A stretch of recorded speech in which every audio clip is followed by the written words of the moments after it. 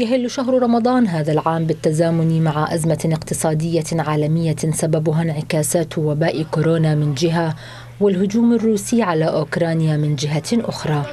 ما ألقى بعبء كبير على كاهل الأسر التي فوجئت بارتفاع الأسعار أثناء خروجها للتسوق والاستعداد للشهر الكريم.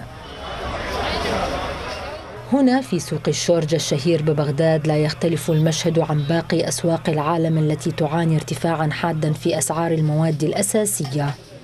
تجمع الناس لشراء احتياجاتهم لكن ارتفاع الأسعار أجبرهم على تقليص قائمة مشترياتهم. فشفنا الأسعار كلش مرتفعة. يعني ما تقدر تشتري حاجة هواية ولا كمية. تشتري على قد المستطاع.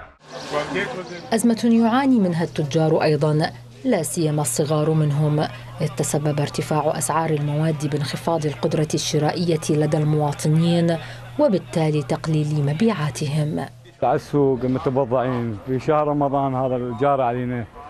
يعني أقل من كل سنة بسبب صعود الأسعار.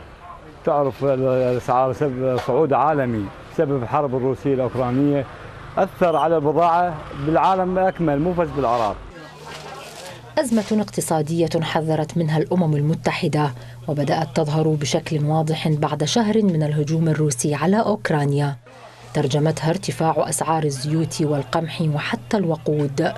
مواد تعتبر عصب الحياة لدى المواطنين في جميع أنحاء العالم ويتسبب ارتفاعها في أزمة خانقة لا تعرف مآلاتها حتى إن توقف الهجوم على أوكرانيا. فاتن يوسف تي آر تي عربي.